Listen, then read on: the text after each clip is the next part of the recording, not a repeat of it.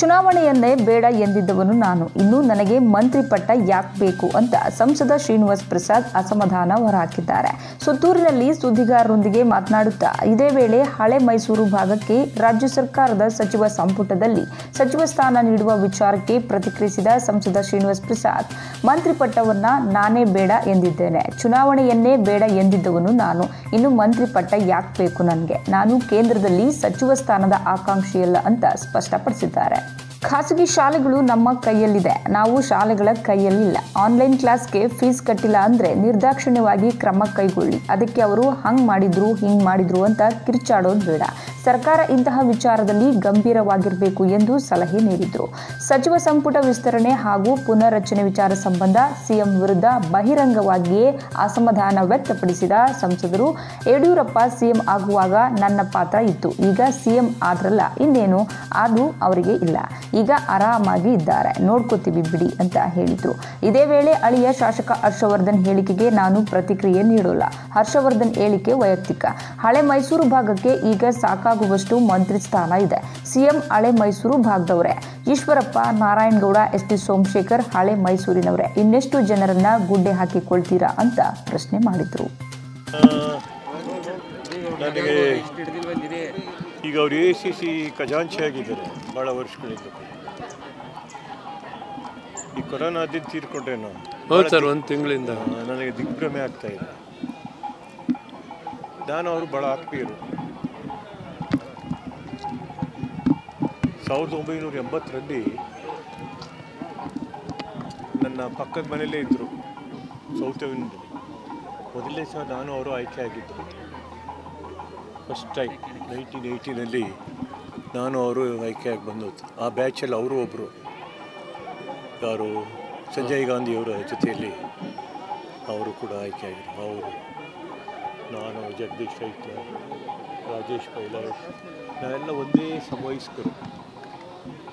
ಪಾಪ ಅವರು, ನಾವು ಕೂಡ. ಭಾಳ ವರ್ಷಗಳ ಕಾಲ ನಾವು ಜೊತೆಯಲ್ಲೇ ಇದ್ದವು ಅವರು ಈಗ ಎ ಸಿ ಸಿ ಖಜಾಂಚಿಯಾಗಿ ಭಾಳ ವರ್ಷಗಳಿದ್ದು ರಾಜ್ಯಸಭಾ ಸದಸ್ಯರು ಕೂಡ ಆಗಿದ್ದರು ಆಗಿದ್ದದ್ದು ಮನಸ್ಸು ಭಾಳ ನೋವಾಗ್ತಾ ಇದೆ ಅವರ ನಿಧನ ಸುದ್ದಿ ಕೇಳಿ. ಭಾಳ ದೀರ್ಘಕಾಲ ರಾಜಕೀಯ ಕ್ಷೇತ್ರದಲ್ಲಿ ಕಾಂಗ್ರೆಸ್ ಪಕ್ಷದಲ್ಲಿ ಅದು ಇತ್ತೀಚೆಗೆ ಶ್ರೀಮತಿ ಸೋನಿಯಾ ಗಾಂಧಿಯವರ ಭಾಳ ಆತ್ಮೀಯರಾಗಿದೆ ಹಾಗಾಗಿ ಅವರು ಖಜಾಂಚಿಯಾಗಿ ಅವರು ನೇಮಕಗೊಂಡು ಕೆಲಸ ಮಾಡ್ತಾರೆ ಅವರ ಆತ್ಮಕ್ಕೆ ಶಾಂತಿ ಸಿಗಲಿ ಅಂತ ನಾನು ಕೋರ್ತೀನಿ ಇನ್ನು ಅನೇಕ ವರ್ಷಗಳ ಕಾಲ ಅವರು ರಾಜಕೀಯ ಕ್ಷೇತ್ರದಲ್ಲಿ ಸೇವೆ ಸಲ್ಲಿಸಬೇಕಾಗಿ ಗುಜರಾತ್ನವರು ನಿಮಗೆ ಗೊತ್ತು ಇತ್ತೀಚೆಗೆ ವಿವಾದ ಆಗಿ ರಾಜ್ಯಸಭೆಗೆ ಆಯ್ಕೆ ಆಗಿದ್ದರು ಅವರು ಸೋಲಿಸಬೇಕು ಭಾಳ ಪ್ರಯತ್ನ ಆಗಿತ್ತು ಆದರೂ ಕೊನೆಯಲ್ಲಿ ಒಂದು ಓಟನ್ನು ತೋರಿಸಿ ಹಾಕ್ಬಿಟ್ರು ಅಂತ ಹೇಳಿ ಚುನಾವಣಾ ಆಯೋಗದವರು ಒಪ್ಪದೆ ಅವರು ವಿವಾದ ಉಂಟಾಗಿ ಅವರು ಗೆದ್ದಿದ್ದಾರೆ ಅಂತಕ್ಕಂಥ ಘೋಷಣೆ. ಮಾಡಿ ಹೌದು ಅದು ನನ್ನ ಉಗುರಿಗೆ ಸಮಾನ ಇಲ್ಲ. ಅದ್ರ ಬಗ್ಗೆ ಕಾಮೆಂಟ್ಸ್ ಕೊಡೋದಿಲ್ಲ. ಅವರ ನಾಯಕರು ಹೇಳ್ತಾ ಇದ್ರು ಕಿಮ್ಮತ್ತಿಲ್ಲ ಅದಕ್ಕೆ ಅಂತ. ಆ, ಎರಡು ಬಾರಿ ಎಂ ಪಿ ಆಗಿ ಈ ಮಾತಾಡೋದು ಬಾಲಿಷ್ವಾದ ಹೇಳಿಕೆ ನಮ್ಮ ಉಗುರಿಗೆ ಸಮಾನ ಇಲ್ಲ ಅದ್ರ ಬಗ್ಗೆ ನನ್ನ ಪ್ರತಿಕ್ರಿಯೆ ಇಲ್ಲ. ಅಪ್ಪ ಹಳೆ ಮೈಸೂರು ಕಡೆ ಸದಾನಂದ ಗೌಡ ಇದ್ದಾರೆ ಈಗ ಕ್ಯಾಬಿನೆಟ್ ಸಚಿವರಾಗಿದೆ ಕೆಮಿಕಲ್ಸ್ ಸೆಟ್ ಫರ್ಟಿಲೈಸರ್ ಸಚಿವರಾಗಿದೆ ಕೇಂದ್ರ ಸರ್ಕಾರದಲ್ಲಿ ಎಲ್ರಿಗೂ ಮಂತ್ರಿ ಮಾಡ್ತಾರೆ. ರಾಜ್ಯ ಸಂಪುಟದಲ್ಲಿ. ರಾಜ್ಯದಲ್ಲಿ ಅಂತ ರಾಜ್ಯದಲ್ಲಿ? ರಾಜ್ಯದಲ್ಲಿ ಈ ಭಾಗಕ್ಕೆ ಒಂದು ಕೊಟ್ಟಿಲ್ಲಂತ ಅದು ಇಲ್ವಲ್ಲ ಸರ್. ಮುಖ್ಯಮಂತ್ರಿ ಯಾವ ಭಾಗದವರು? ಹಳೆ ಮೈಸೂರಿಗೆ ಸೇರಿದವರಲ್ವಾ?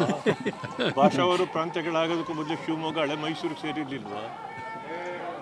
ಈಶ್ವರಪ್ಪ ಹಳೆ ಮೈಸೂರಲ್ವಾ ನಾರಾಯಣಗೌಡರು ಹಳೆ ಮೈಸೂರಲ್ವಾ ಸೋಮಶೇಖರ್ ಜಿಲ್ಲಾ ಮಂತ್ರಿ ಹಳೆ ಮೈಸೂರು ಪ್ರಾಂತ್ಯದವರಲ್ವಾ ಇನ್ನೆಷ್ಟು ಗುಡ್ಡೆ ಹಾಕೊಂಡ್ರಿ? ಮಂತ್ರಿ ಆಗಕ್ಕೆ ನನಗೆ ಇಷ್ಟ ಇಲ್ಲ.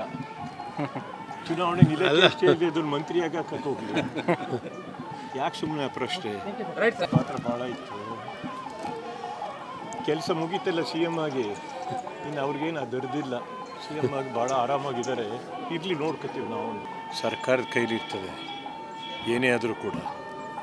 ಅಂಥ ಸಮಸ್ಯೆ ಸರ್ಕಾರದ ಗಮನಕ್ಕೆ ಬಂದಾಗ ಅದನ್ನು ಬಗೆಹರಿಸಬೇಕು. ಸುಮ್ಮನೆ ಕೂಕ್ಕೊಳ್ಳೋದಲ್ಲ ಸರ್ಕಾರಿ ಶಾಲೆಗಳೇನು ಮಾಡ್ತೀವಿ ಇವರು ಖಾಸಗಿ ಶಾಲೆಗಳು ಸರ್ಕಾರ ಒಂದು ಆಜ್ಞೆ ಮಾಡಿದ್ರಾಯಿತು. ನಾವು ಕರೆಕ್ಟ್ ಸರಿಯಾಗಿ ಪೋಷಕರ ದೃಷ್ಟಿಯಿಂದ, ಮಕ್ಕಳ ದೃಷ್ಟಿಯಿಂದ ಸರ್ಕಾರ ಒಂದು ತೀರ್ಮಾನ ತಗೋಬೇಕು. ಅದಕ್ಕೆ ಯಾಕೆ ಕಿಚ್ಚಾಡಬೇಕು? ಪ್ರಜಾಪ್ರಭುತ್ವದಲ್ಲಿ ಅಧಿಕಾರ ನಮ್ಮ ಕೈಲಿದೆ. ಅದನ್ನು ಯಾಕೆ ಅಷ್ಟು ಕಿಚ್ಕೋಬೇಕು ಶಾಲೆಗಳು ನಮ್ಮ ಕೈಲಿದೆ ಹೊತ್ತು ನಾವು ಶಾಲೆಗಳ ಕೈಲಿದ್ದೀವೇನ್ರಿ? ಮಾಡೋಕ್ಕಾಗಲ್ಲ ಅದು?